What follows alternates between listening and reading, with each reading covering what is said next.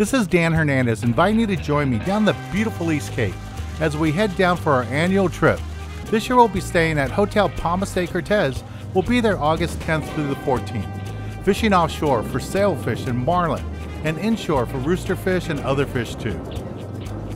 Make plans to join me at Hotel Palmas de Cortez. That's August 10th through the 14th.